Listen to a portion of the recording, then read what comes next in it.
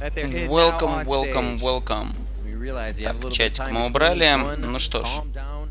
Третья игра. И Нори все еще у нас в строю. Нет ну, мне кажется, вообще Метиус не приехал, потому что раз его не было на начальном представлении участников сегодняшнего матча, скорее всего, его просто нету в Канаде.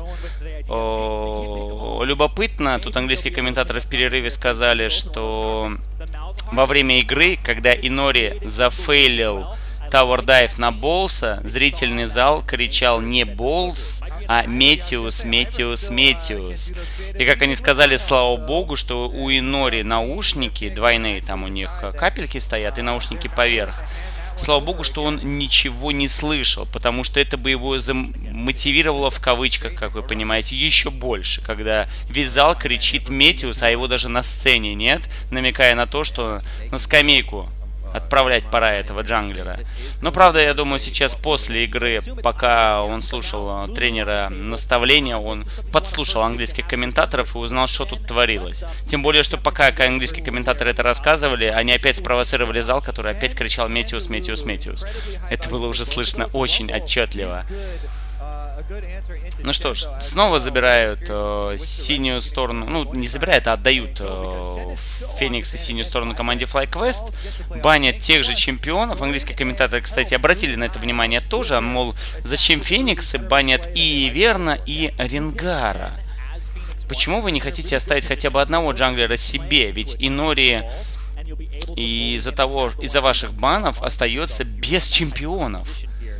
Грейвса банят флайквесты, вы сами баните Рингара, вы же сами баните и верно. И, и Нори не на чем просто играть.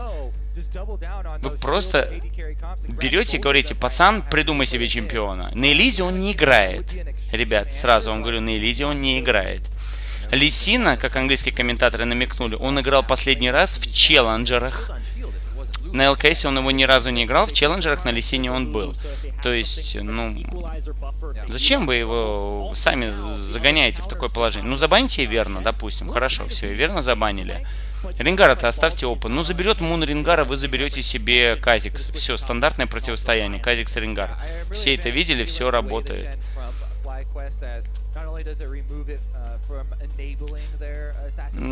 Так, они Карму плюс Шен предпочитают забрать себе Феникса. В ответ FlyQuest забирает себе Лулу Наутилуса. Ну, ну, могу точно сказать, что FlyQuest сохраняет за собой возможность сыграть практически любой setup, э, вплоть до жесткого тимфайта, э, взяв Хаю, допустим, АОЕшника и Альтеку э, того же самого Варуса до, допустим, гиперкерри Альтека на Кагмаве. Соответственно, надо Фениксом задуматься об этом бане. И Нори на Элизе все же будет. Он на ней не играет, это я сказал, потому что он на ней, ну, там, то, что играл, это не была не игра. Одна, один раз, я помню, он играл на ней. Это было не в плей-оффе, это где-то в регулярке было. Но тогда уже и команда разваливалась полностью. Старый очень пик. Э, вымучивают сейчас себе Фениксы. А, обычно этот пик строится вокруг э, ускорения, и Рю должен быть здесь как раз что-то по типу Эко, такой Assassin Midlaner. Талон, Эко, вот что-то такое. А Эру, у него два варианта, либо Северка, Скейтлин, это типа лейтгеймовые чемпионы, а, либо ну, просто паукающий чемпион, тогда типа с кармой неплохо сочетается. Ну, теоретически можно еще Тристана, но вряд ли мы увидим. А паукающий это Эз, Аша. Ну, Джин тоже годится. Очень старый такой комбо они здесь выстраивают. Флайквесты задумались, потому что, ну, надо понять, что будет играть Рю. Да, кстати, под Ассасина я совсем забыл, еще Ари подходит. Сами Фениксы забанили Ариану, которая им, им годилась. Сами забанили Талона, который им тоже годился. Ну, таким образом, они обрезают возможности флайквестов играть через разных чемпионов. Это правильно. А вот в бан они получили Джейса, что poke setup нельзя было выстроить, типа Джейс Варус, э, Джейс э, Эз и минус Ари. В общем-то, ассасином, ассасинов не осталось, и Фениксам ничего не остается, как пикать здесь как Мава. Либо, ну, если они сейчас как Маву не забирают, как Мава забирает флайквест, я не уверен, что это хорошая будет идея для Фениксов. Но они решают Синдру сыграть, которая плохо зашла в первой игре. Нам тут показывают эту птицу, которая смотрит на команду Феникс, понимает, что надо их уже воскрешать. Феникс, птица приведенная. Не знаю, откуда там голубь взялся на этом стадионе, но, видимо, кто-то занес его с собой в кармане. Они Кагмава не забрали, соответственно, флайквесты забирает Кагмава себе. И флайквестам надо теперь э, добрать щиткового мидлейнера, желательно, потому что маловато щитков получается у команды флайквест. Для Кагмава слабовато будет защита. А либо какого-нибудь такого чемпиона, который будет принимать на себя внимание. Ну вот, чемпион, принимающий на себя внимание, Эко идеально подходит. Тем более, что он является контрой к Синдре. Ну, посмотрим, как Хай будет контрить через Эко Синдру. И здесь это без шуток на самом деле так и является. Эко не то чтобы прямая, но очень такая хорошая контра. Ну, у Фениксов ничего не остается, либо Аша, либо Эз. Ну, я думаю, последнюю игру сезона вполне можно Эроу отдать его мейн и просто дать ему Ашу и не париться. А, они решают взять Твича. А, это Твич Шен типа комба. Мне очень не нравится, что тут Фениксы напикали. Как они это будут исполнять вообще, я не понимаю. То есть, надеемся на Инори, что он в соло победит? Потому что, ну, кроме как Инори, здесь некому организовывать для команды Феникс midgame. Кто в мидгейме будет воевать у Фениксов? Я сейчас объясню, ну, кто немножко не понимает. Шен это чемпион своей ульты. Шеновская ульта не должна использоваться для защиты. Шеновская ульта используется для атаки. Если вы используете ее для защиты, значит вы автоматически уже проигрываете игру. Вы должны для нападения ее использовать. Кто нападать собирается из команды а, Феникс и, и в кого они нападать собираются?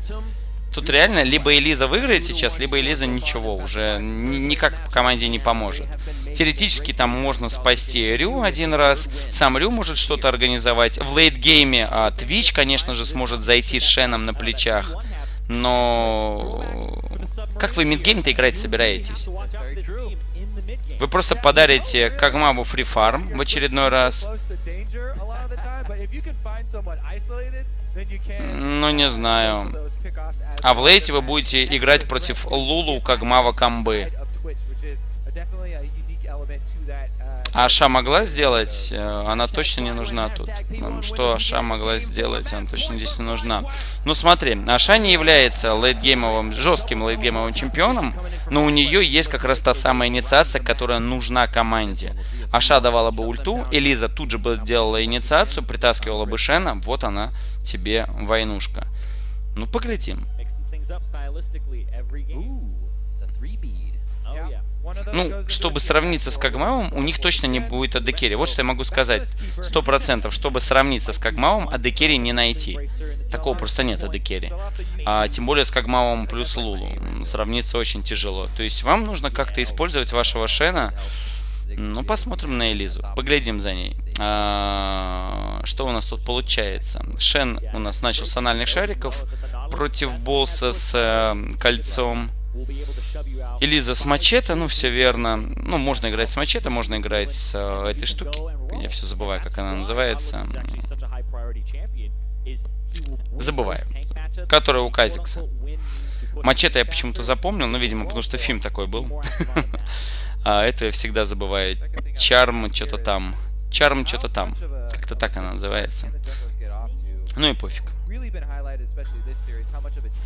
Лемон теряет немножко урона, но ничего. Талисман. Просто талисман, она так и называется?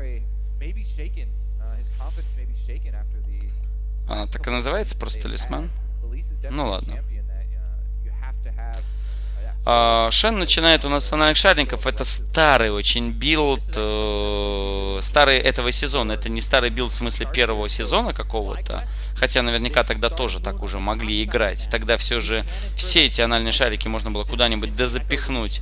А сейчас, к сожалению, не все из них апгрейдится.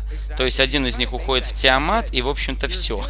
Если вы не собираетесь сделать себе э, этот э, Вармог, то вы вообще ничего больше не получаете с них.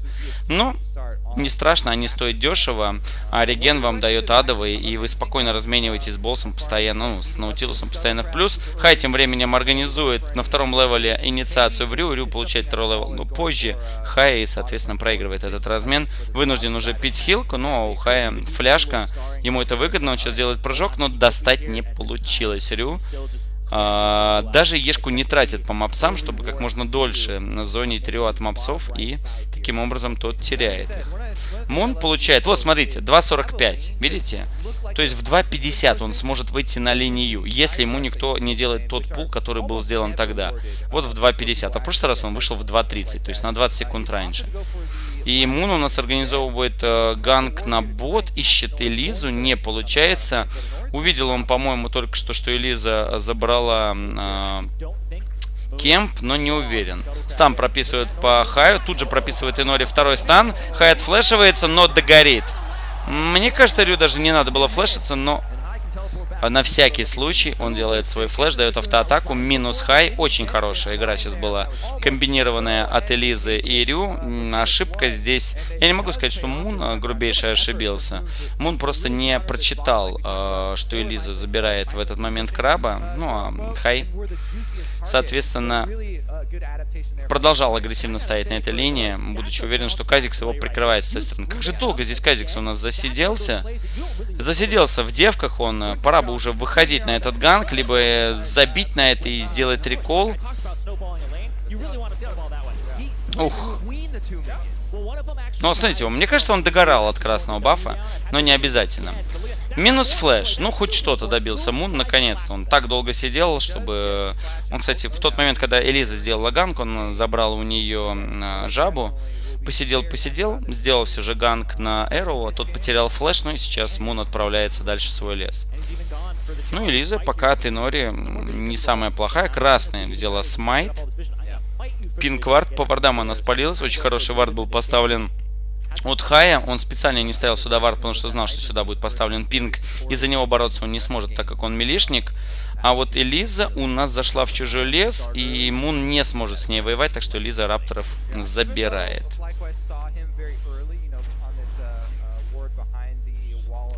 Провальчик. Ну, я по поводу провальчика говорю э, Казикса, то, что он так много времени потерял. И Нори снова выходит на мид, но нужен снова стан. Снова стан проходит, и Нори дает свой стан, тоже попадает. И Хаю надо уходить в свой W. Он уходит, застанет, пытается Лизу, но Лиза подпрыгивает и уворачивается от этого стана. Приземляется на мапса, остается в живых. А Рю в этот момент дает последний спел и цепляет Хая. Минус Хай второй раз на этой линии. На этот раз уже без телепорта. Альтек тем временем по шеде наносит очень много урона. И после этого переключается на Эру. А Эру понимает, насколько тяжело играть на Твиче против Альтека. Э, сегодня Альтек настоящий MVP. Вот реально стены помогают, домашние, потому что я вам говорил, что это один из худших адекери этого сезона. Все это знают, на него даже никто, как говорится, не надеется, но но если сегодняшние игры его посмотреть, он умер за три игры всего один раз. А, причем ни разу не проиграл ботлейн. Всегда был по фарму хорош э, и сделал пентакил на Кагмаве во второй партии. Да и на Эзи э, два трипл килла сделал. Так что он реально MVP всей этой серии пока что. Мун в первой игре плохо отыграл, во второй хорошо. Хай в первой игре плохо отыграл, во второй средне, в третьей хорошо. Ну, то есть, понимаете. А, Болс в третьей игре сыграл хорошо, но там на Наутилусе против AD сетапа не так уж и сложно сыграть хорошо.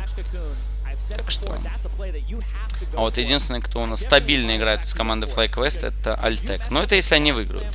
Тем временем Зик потерял телепорт, а Боллс, кстати, может сэкономить телепорт, учитывая, какой большой пак он запушил под вышку. Посмотрим, что у нас с Хаем будет сейчас происходить. Пока он отстает очень сильно, больше, по-моему, он не бычит на эту Синдру, и контрпик его уже не работает. Э, шестой level Синдра получила, Хаю бы тут пятый получить. Хотя не, он тоже только что шестой апнул. Странно. Ну ладно.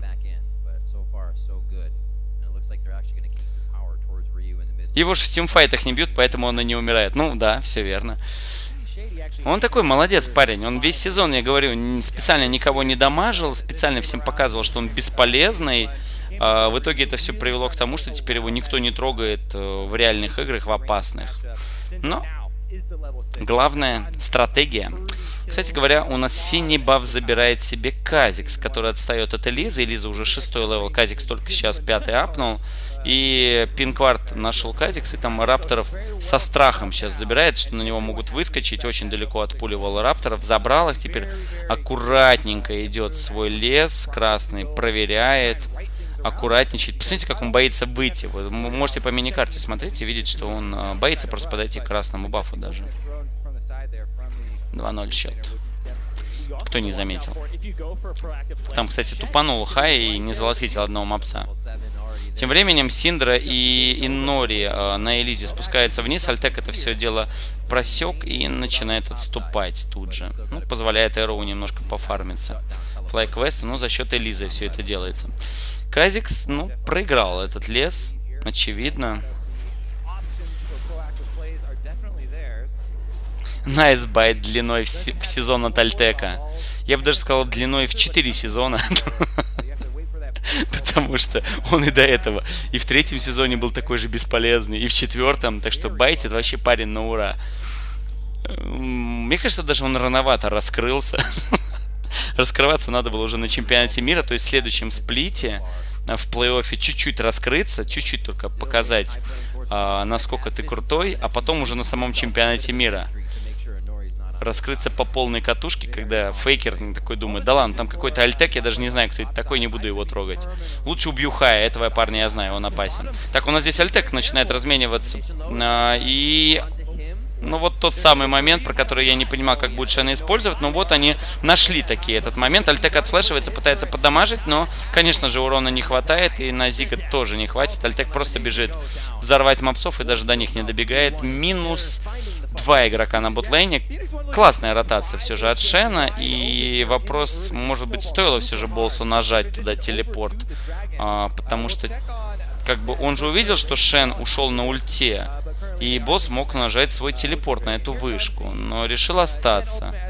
Ну ладно. Многоходовочка, да, многоходовочка, конечно, хорошая, но вы же понимаете прекрасно, что чтобы такое организовать, это колоссальных усилий потребовало. То есть Болс, допустим, ушел там плюс 15 мовцов а, на этой линии сразу же. Мун не то что выровнялся, он даже вперед Элизы ушел по фарму. Единственное, кто от этого почему-то ничего не получил, это Хай. И это немножко странно. Он как проигрывал двадцатку, так и проигрывает, и поэтому у него тоже ничего не появилось. А на боте, ну, вы получили, да, килл для Синдры, это, конечно, хорошо, но вообще-то киллы нужны Твичу, а не Синдре. Синдра и так у нас тут доминирует сейчас Эко. Хотя, с другой стороны, если Синдра сможет сама выиграть игру, почему нет? Пиван собрались. Да нет, скорее тут флайквесты немножко подтупили. Вот Казикс, видите, который до сих пор ничего не сделал. А я говорил, что он должен помогать именно на меде. Он должен помогать на боте, а он ни того, ни другого не сделал. В итоге выскакивает, видит пинкварт и сразу побежит назад дальше фармиться. Ах, да, еще же и вышка упала, я даже не заметил. Вышку Болс убил на топе, э, так что ФБ вышки еще достался команде FlyQuest. И их отставание не стало таким большим. Так что да-да-да, я даже на это не обратил внимания. 20 не 20, а 3 килла имеет. Ну, да, конечно. 3 килла это всегда в плюс. Тут у нас и Норик. Неплохую игру пока демонстрирует на Элизе. Первая эта игра мне от него совершенно не понравилась на Элизе. Он ничего не делал. Еще и build какой-то странный выдумывал. Здесь же он такой больше метеусовский build делает. Возможно, как раз это и зарешало, что Инори э, понимает, э, Метеус его явный конкурент э, в джунглях. И ему надо играть тех же чемпионов, которых Метеус уметь играть и уметь их играть на том же уровне. И наверняка посмотрел, какие правильные билды, что Meteos делает, какие руны берет. Э, ну и в этой игре показывает очень хорошую, добротную игру за Элизу. Поглядим, как это аукнется дальше. Опять у нас здесь проблема у FlyQuest ов на ботлейне. А, и нужен здесь Казикс. Флешает Инори, ловит LemonNation. LemonNation ультует на себя, но Шеди его прикрывает. И, кстати говоря, сейчас проблема начнется, потому что Казикс-то из кустов выпрыгнет. Казикс-то выпрыгнул, но, как назло, здесь оказался рядом а, еще один игрок по имени Синдра. И Синдра помогла команде очень сильно ворваться. Трипл килл для Нори, но его тут же убивает босс прилетевший.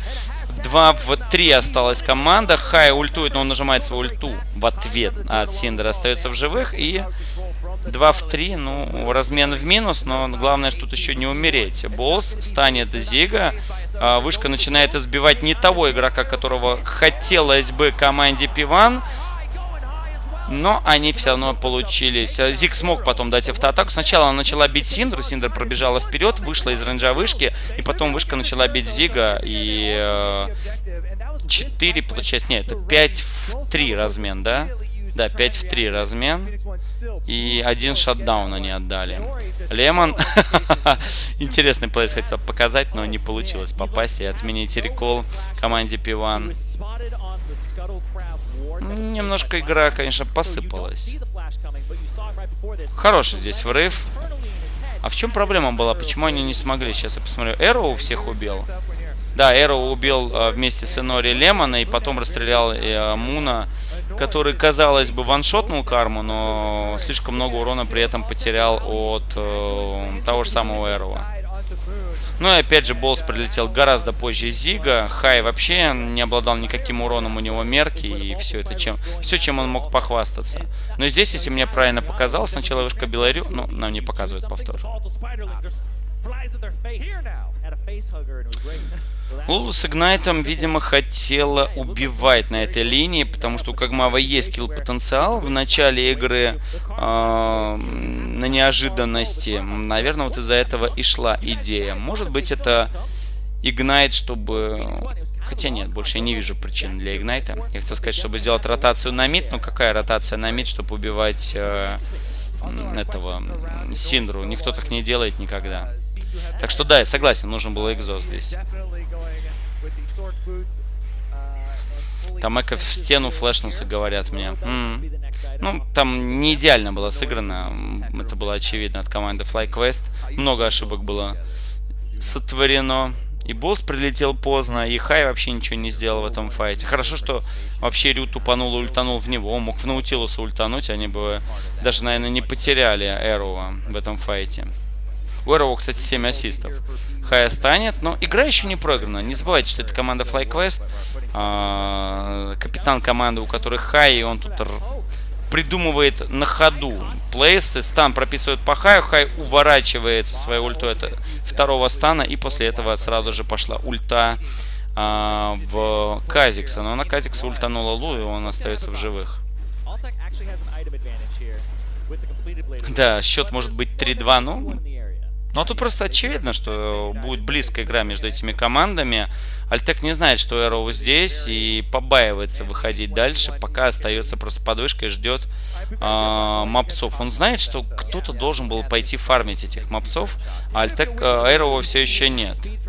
Эроу вместе с Шеном собирается улынить. Но рядом Лемонейшн, Таунд, к сожалению, Альтеку здесь не выжить. У него нету флеша. У него сейчас только откатится флеш и хил. Посмотрите, вот он. Только сейчас откатились. И успел Эроу притащить сюда Зига. Сделали они этот килл.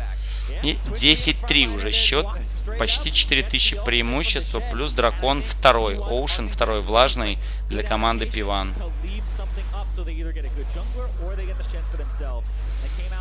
Ну, надо какие-то плейсы начинать придумать флайквестом, иначе они просто так отдадут игру.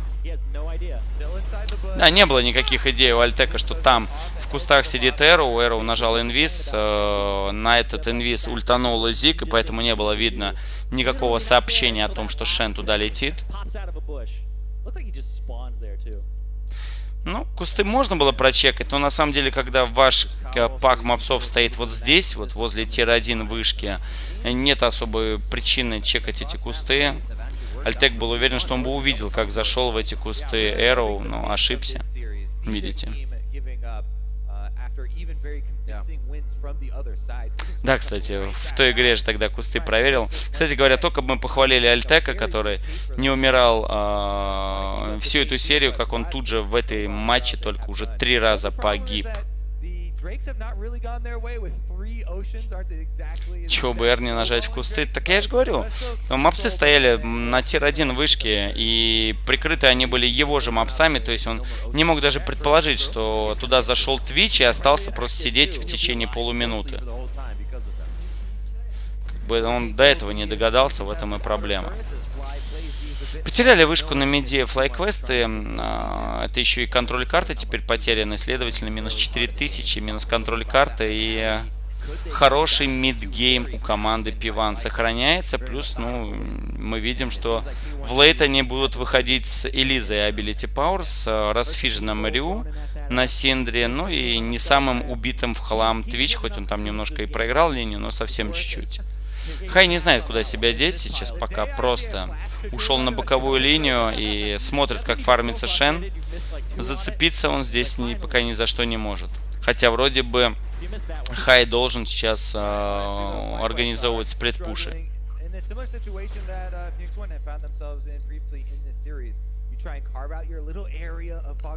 Рюм по вардам прогуливается. Но ну, минус вышку на топе они будут организовывать. И придется сейчас флайквестом чуть-чуть посидеть от защиты, но при этом нужно хоть какую-то вышку-то забрать в ответ. Нельзя так просто объекты отдавать раз за разом. Хай сюда приходит, и его тут же идут тавердавить. Он сразу же бежит, да, прописывает стан, но по мапсам. Нажимает телепорт у нас сюда болс. На ульте Хай возвращается назад под вышку и остается в живых. Болс без телепорта. Напоминаю, что у Зига есть ульта все еще. Ну и не забывайте, что он точно так же может и телепорт нажать. Так что придется сейчас кому-то реколиться и идти останавливать Шена. Можно, кстати, проще сделать. Отправить Наутилуса, допустим, на секунду на мид, а Кагма в этот момент может просто сбэкаться вниз. Такие плейсы тоже часто используются. Уставший, ну да, так мы сегодня две, третью серию, извините, Best of 3 комментим, так что, конечно, усталый. Как иначе-то? И уже ночь на дворе. Темно, страшно, волки воют. Эко отправили они вниз все же. Странный выбор. Ну, просто Эко туда дольше всего идти было, как мне кажется.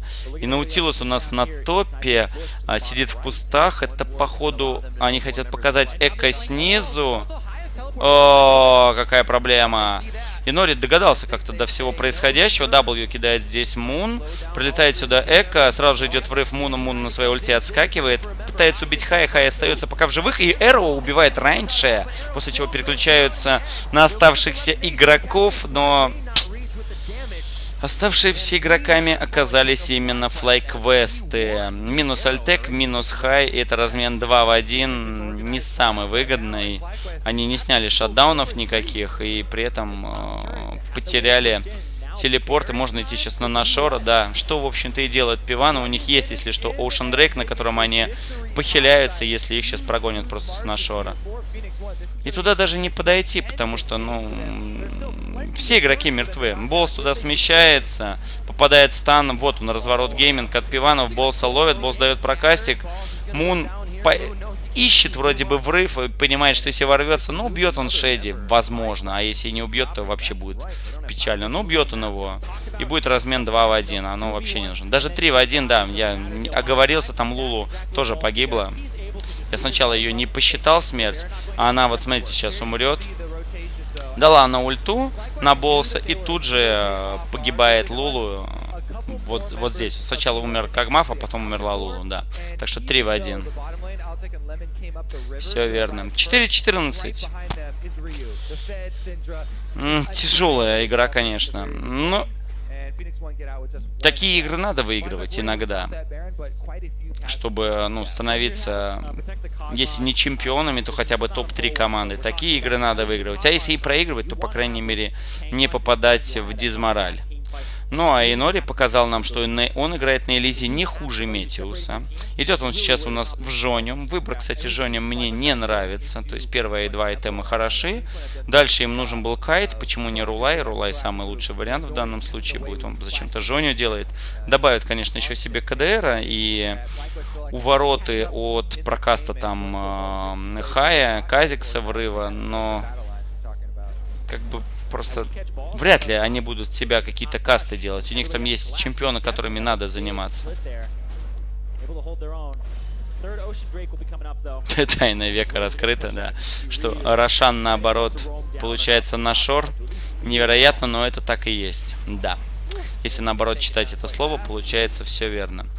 Ну, тут еще есть некоторые отсылки к той самой игре, про которую ты говоришь. Здесь есть Guardian, Angel, Аегис есть в игре. Отсылок очень много. Ну, Риу-то никогда это не отрицали. У нас тут Хай придумал для Рю ловушку, но Рю его на вардах спалил, и Хай понимает, что что-то как-то здесь не пошла эта ловушка. Кстати, урона вряд ли бы хватило Хаю. Но теоретически, ребят, все равно сохраняются хорошие шансы у флайквестов для лейта. Им главное на Шора не отдать, хотя не знаю, как это не сделать против трех Оушенов. Теперь Эроу здесь начинает инициировать битву. Шен на него ультует, Эроу постреливает, постреливает. И, кстати говоря, потерял уль... потеряли две ульты, ульты команды Phoenix One, но... Пенис Ван, да, я оговорился. Феникс Ван, но при этом ничего не добились. На шоре они не делают. Толком даже э, Vision не зачищен на шоре. Вот сейчас только Вард там пропал. На Альтека выходит. В итоге станет Хая, но Хай этого не боится. Таун там по Лемону проходит, и Лемон... Вот, флешиться придется. У Лемона нету флеша. Никуда ему не отфлешиться, его убили просто так. Ну, хотя бы успел дать свою ульту перед смертью на самого себя. Что за игра? Лига Легенд. 4-15. Все больше и больше преимущества команды Phoenix One. Все тяжелее и тяжелее э, выглядит этот лейт, до которого не добраться флайквестом.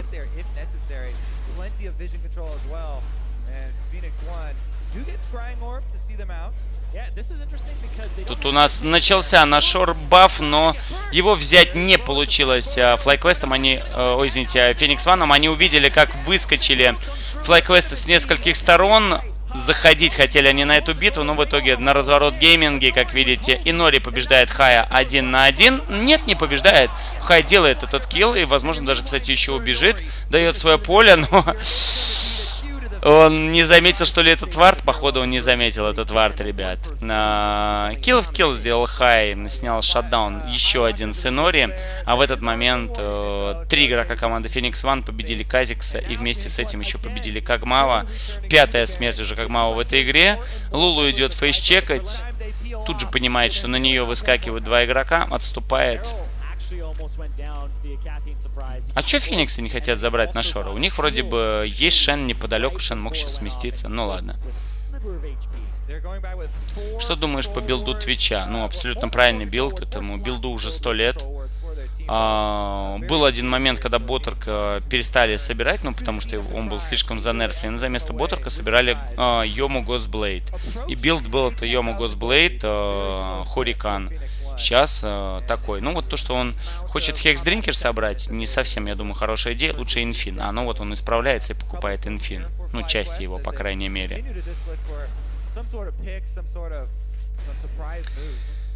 На FlyQuest пытается придумать где-нибудь кильцы. Им нужны размены, очевидно. И интересный выбор здесь у нас от Альтека идет. А, это, это кстати, все равно Frozen Mallet будет. Я на секунду подумал, что может быть это Фейдж, выход в Trinity Force. А, иногда как Мава тоже через тренику собирали, но не-не-не, это, ребят, будет все равно тот же самый Frozen Mallet. Теоретически все еще все можно сделать. Но это только теоретически. Как вот в предыдущей игре. Процентов 5 осталось у флайквестов, куда зацепиться. Им э, для зацепки поможет Infernal Drake. Конечно же, Стил Муна поможет против Энори на Нашоре. Тем временем Зик спокойно сплитпушит вышку снизу. Никто его не останавливает, он ее ломает. Босс даже туда не идет. Босс пытается организовать здесь битву, но видит, как хорошо заняли позицию Пивана и ни за кого зацепиться у него не получается. Тем временем Шен уже ломает ингибиторовскую вышку. Надо туда отмечать, ну, хоть кого-то. Ну, Хай пошел. Ну, хотя бы. Пошли на Нашора Фениксы, ну, просто покидали спеллы, но Нашора делать не стали пока что. Хай, справится ли он с Зигом один на один, не совсем понятно. Может быть, они не отсылают босса, потому что босс вообще теперь не может с ним стоять один на один. Потому что, ну, действительно, есть много айтемов. Эроу. Пошла инициация. Болса ловит. Болсу бы отсюда отпрыгивать через флеш. Но Болс очень долго тормозит со своим флешом. В итоге Лулу на него ультует. И Болс тратит флеш, но теряет при этом очень много хп. Минус шеновская ульта, минус ульта Эроуа. И пиваны, наверное, пойдут, честно, на Шора. Нет, они выбирают зайти со спины на агрессивную команду. Фин... А... Ух, флеш-стан не попадает. Флеш-какун тоже не попадает. Болс нажимает телепорт, но только чтобы подлететь ближе к своей команде. Цепляет Зига, пытается его убить, но он накидывает на себя щиток. Пошел еще редемпшн. У Муна не хватает урона, чтобы вообще хоть что-то здесь сделать. Минус вышка на меде, но малыми, так сказать, э, потерями обошлись эм, флайквесты. Но, с другой стороны, Феникс Ваны потеряли всю инициацию. Кстати, вышку они не сломали, они хотят все еще на Нашора пойти. Еще один телепорт, только на этот раз уже от Эка. А Эка прилетает просто, чтобы побегать. Ну, не знаю, зачем это было потрачено. Эко теперь бы еще отсюда убежать. Таунт прописывает Зиг. Вынужден был Эко сделать проказ. Пытается убить Эрова. Ну, конечно же, ему не хватит урона. О чем он говорит? Один в 4. Как он там собирался делать килл? А другие игроки команды FlyQuest туда даже подойти не могут. Ну, совсем глупая сейчас идея была от Хая. Он сам не понял, чего хочет. Сделал просто врыв в никуда. И отдался.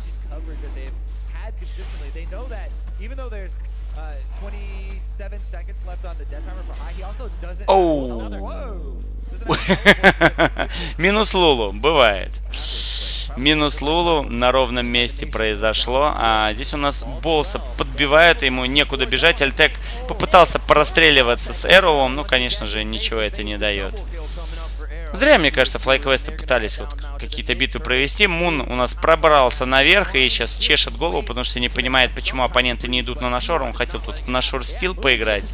А флайквесты, вместо того, чтобы сидеть под вышкой, постоянно из нее выбирались, что только еще больше провоцировало Феникс Ванов не брать нашор, а просто с ними сражаться в открытом поле, убивать их, потому что они тупо богаче сейчас. Казикс посидел, посидел на топе, забил, в общем, на это. И он все еще сидит на топе, ждет, что они пойдут на Нашора, но они туда не пойдут. Ну, это игра слитая. Счет становится 2-2 у нас, ребят. И вопрос теперь уже открытый на тему того, кто же выиграет этот эту серию Best of 5. Это мы узнаем после перерыва, но для начала еще Эрову и команде надо сломать Nexus. Они пока с этим не особо справляются, но я думаю, сейчас пойдут уже и закончат. Хотя, может быть, сначала пойдут на Нашора. Флайквесты устраивают ловушку. А, у Шеди, кстати, закончится просветка к тому моменту, когда он будет туда подходить. Он увидел Лулу. Нет, всех увидел. И врыв не организовали, потому что Шеди достаточно танковый. А, если бы он там был один, и либо просто в чистую фейс-чекнул, тогда бы, может быть, сделали врыв. А так, цеплять его не очень хотелось.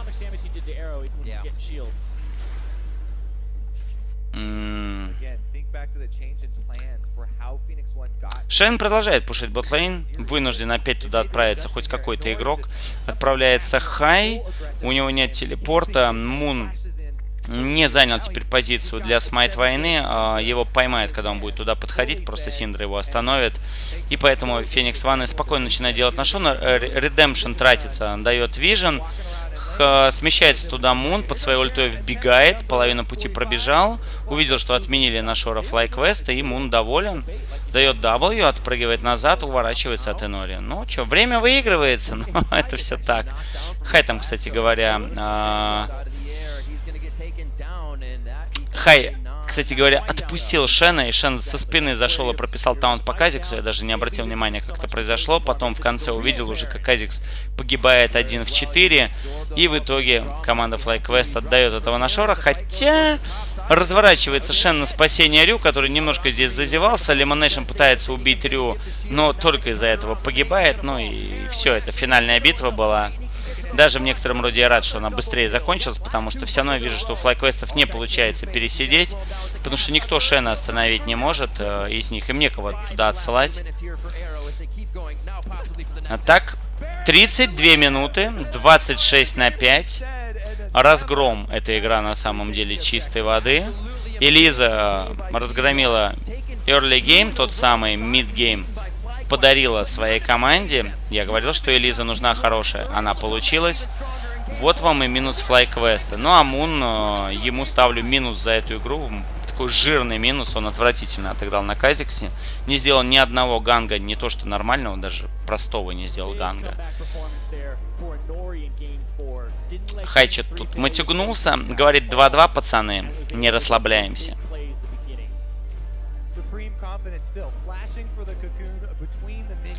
Что у вас там произошло в чатике, ребят? Да, опять в 33 минуты влезли.